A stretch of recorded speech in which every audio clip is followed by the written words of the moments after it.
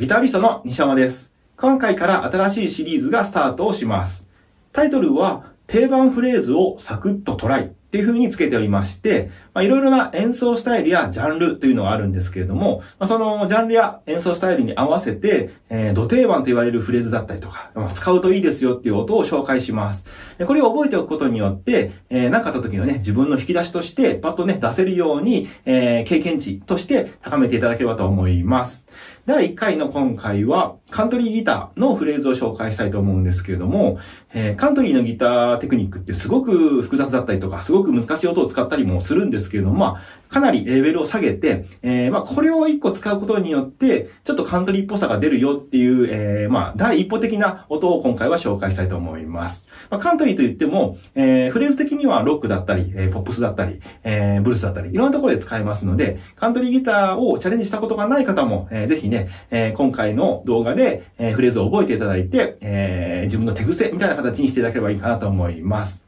ではまず、えー、今回のポイントを先に紹介していきたいと思います。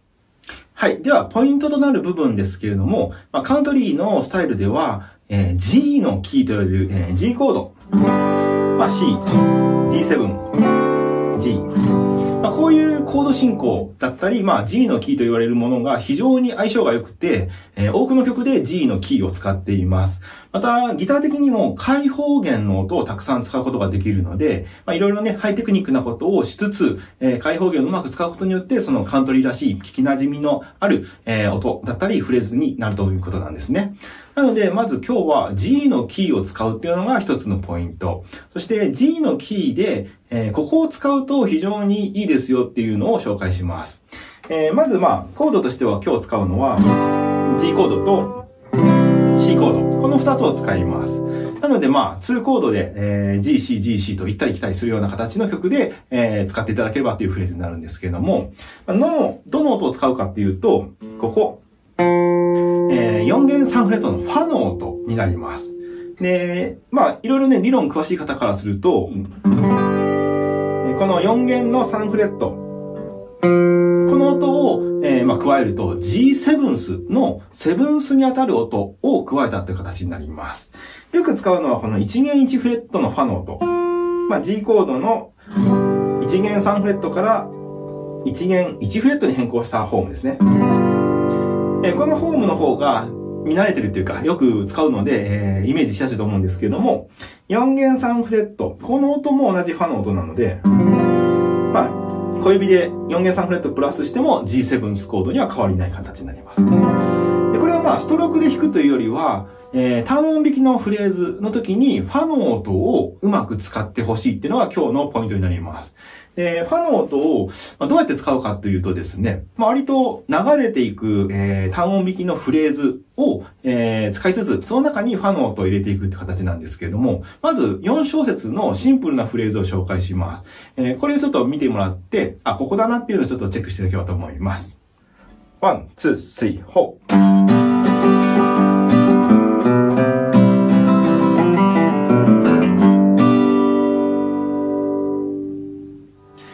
うなフレーズですが、どこで使っていたか見つかりましたか？一回だけ使ったんですけど、ファンの音。えー、C コードの後に G コードに戻るときにフレーズで、えー、G に戻るんですが、その最初の時ですね。え、4弦2フレット、C コードで押さえている中指。これがドレミのミの音、4弦2フレット。こ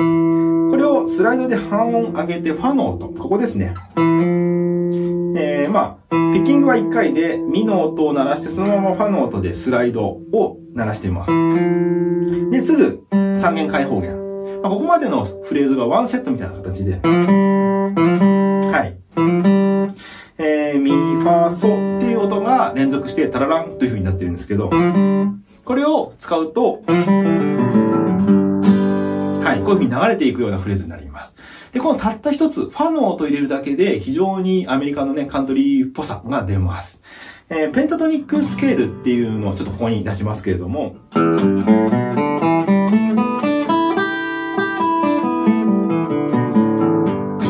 はい。えー、まあ、E マイナーペンタトニックスケール。まあ、G のキーで使えるってやつなんですけど、これをブルースとか、やってる方は、あ、知ってる知ってるっていうふうに思うと思うんですが、このペンタトニックスケールには、さっきのファの音は、まあ、含まれていない音になるので、どうしてもこう、まあ、僕もそうですが、ロックギターから始まって、ギターをね、スタートした方は、ペンタトニック使いやすい。じゃあ、覚えようってことで、ペンタトニックをたくさん、えー、練習します。でそうするときに、ファンの音を使うっていう、こう、スイッチが脳内にあんまり入らないんですね。で僕はカントリーギターとかいろいろ勉強して、あ、この音って全然バリバリ使っちゃっていい音なんだっていうふうに、後から気づくわけなんですけれども、ぜひね、この、えー、ミーファーソをワンセットで覚えてほしいなと思います。まあ、これを使うことによって、ロックっぽさからよりちょっと、えー、カントリーよりに、えー、音が、えー、明るく感じるようなフレーズになるので、えー、ちょっとカントリーっぽいアレンジしたいなとか、ちょっとそういうフレーズ入れたいなっていう時には、えー、4弦3フレットのファの音を使うっていう風にぜひ覚えていただければと思います。ではちょっと実践的なフレーズを16小節弾いてみますので、えー、GC、GC の、えー、行動進行の中にいろいろフレーズを混ぜてみます。で、このファの音をいろいろ使ったパターンを、えー、入れてみますので、まあ、自分の好きなフレーズがあったらそれをぜひ吸収してほしいなと思いますので、ぜひチャレンジしてみてください。では行ってみましょう。1、2、3、4。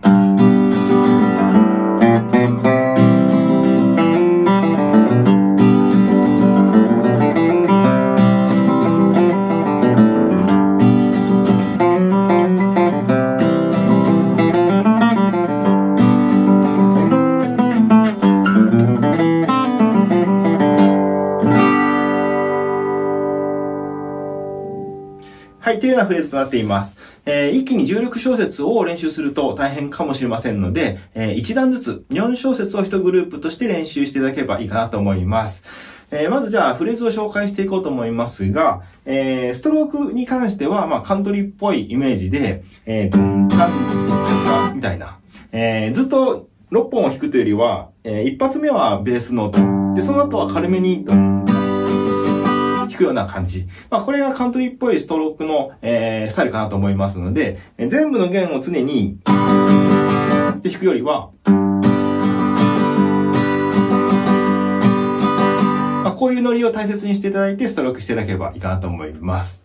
では、えー、フレーズですけれども、まず一発目のフレーズですが、えー、一段目の4小節目ですね。まあ、こういうフレーズになっています。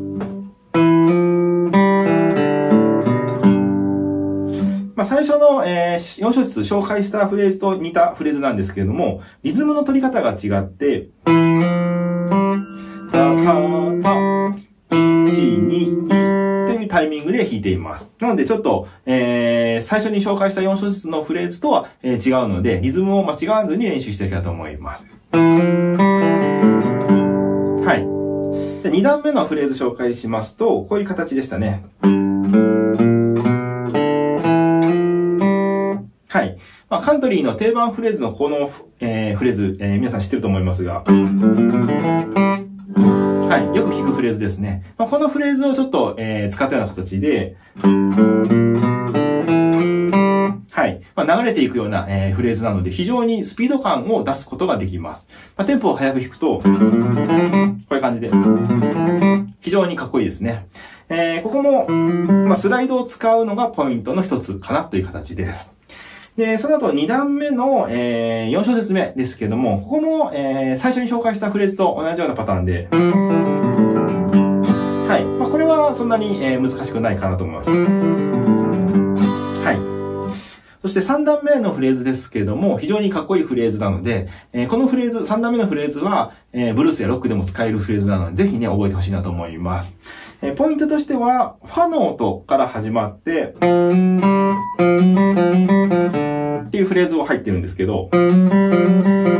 まあ、あえてファの音を主張を強くするような形。そして、ファから、まあ、ファのシャープに、えー、音を進めるので、まあ、ちょっと外れた感が出て、その音で、えー、合ってる音っていう形なので、はい。まあ、このソの音が、えー、入ることによって安定感が出るという形になります。この、えー、ファとファのシャープの音の連続だと不安定感が強すぎるので、えー、必ずその音を間に挟むっていうのが一つのポイントですね。はい。タタタタタタ。まあ、3連符みたいな形のイメージで弾いていただければいいかなと思います。はい。ここもまあスライドを使うのがポイントですが、もちろんフルピッキングで弾いてもらっても大丈夫です。えー、スライドの方がまあ滑らかさが出るって形ですね。はい。で、その後のフレーズ、えー、ここが非常に、えー、カントリーっぽさがより増すフレーズになります。はい。こういうフレーズはですね、カントリーギターだったり、ブルーグラスやってる人からすると、あ、こういうの、えー、よく使うよね、みたいな形でスイッチ入るんですが、意外とロックやブルースやってる人からすると、えー、指がね、こう、動きづらい、えー、運指になるので、ぜひ練習してほしいと思います。まず、4弦2フレットのミの音。その後、ファに行って、で、3弦開放弦のソ。で、その後、ラの音が入って、次は、シのフラットが入ります。まあ、コードで言うと g マイナーのマイナーに当たる音、もしくは C コードで言うと C セブンスに当たる音なんですけど、えー、この音は、えー、結構ね、ブルースとかでよく使う音なので、えー、入れてもらうとかっこいいなと思いますが、はい。その後、ここですね。C の音からソに行って、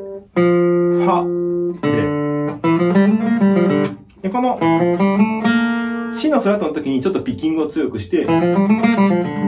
やるとカントリーっぽい、えー、ブルーグラスのような、えー、フレーズというか、えー、非常に、え主張が強いフレーズになりますので、ここはおっと、え聞いてる人も耳を傾けたくなるフレーズになるので、ぜひこれを覚えていただければ嬉しいなと思います。ポイントとしては、さっき言ったように、ここの死のフラットの時にちょっと強めに、え、ピッキングをすること。そしてその後、このフ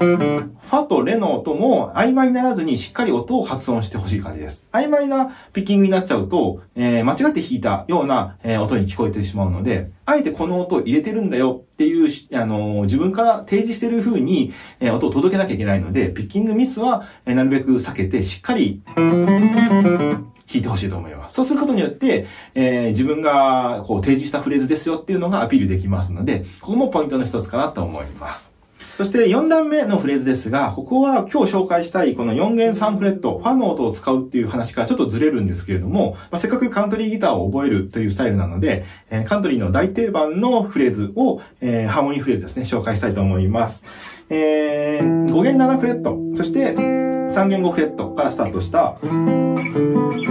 まあ、こういうフレーズですけど、えー、これは C コードの、えー、まあ、ルートっていうか C コードの時に使える、えー、テクニックになりますが、えー、最初の音は C コードの上に3度の音からスタートしていて、まあ、C コードのルートに戻るっていう形ですね。はい。このテクニックって非常にカントリーギターではよく使うテクニックで、えー、まあ、エレキでもアコギでもどっちでも使うんですけれども、非常にスピード感が出せる、えー、テクニックになります。まあ、ただただこう、C コードをストロークしてもいいんですが、せっかくなのでその時に、みたいな形のフレーズを入れることによって、えー、非常にこう、スリリングなサウンドが作れるので、ぜひこれも覚えていただければいいかなと思います。ポイントは3度の音からスタートして、えー、まあ、このね、あの、ハーモニーのパターンは、えー、指の自分のこう手癖にしちゃえばいいので、まあ、ルートに戻るために動くハーモニーだと思っていただけると分かりやすいかなと思います。そして4段目の最後のフレーズに関してはそんなに難しくなくて、まあ、1段目と似たようなフレーズですけど、はい。ここのポイントで言うと、えー、ここですね。この時に、えー、ミの音からファの音に、えー、スライドする。ここでピッキングが弱くならないように気をつけてほしい。あえてちょっと強めに弾くことによって、えー、この音を入れてるんだよっていう主張が、えー、強くなります。まあ、そうすることによって、非常にこう、かっこいいフレーズになるので、ここが主張が弱いと、なんかこう、間違って弾いてしまったようなフレーズに聞こえてしまうので、しっかりここはピッキングを強くして、えー、エンディングでちゃんと終わっていただけると非常にかっこよく決まるかなと思います。という形で、えー、16小節一気に練習すると大変かもしれませんが、一つ一つ、えー、覚えていただけると、えー、いつかね、使える日がやってくると思いますので、自分の引き出しに入れていただければと思います。まあ、特に今回僕としては、えー、この3段目の、えー、4小節目ですけど、まあ、こういうちょっとスリリングな音の使い方の、えー、パターンを自分でも、あの、見つけていただいて、そういうのをね、えー、どんどんどんどん使っていただけると嬉しいなと思う、えー、形になりますので、そのきっかけになれば嬉しいなと思います。では、たくさん練習を頑張ってみてください。また次回お会いしましょう。西山でした。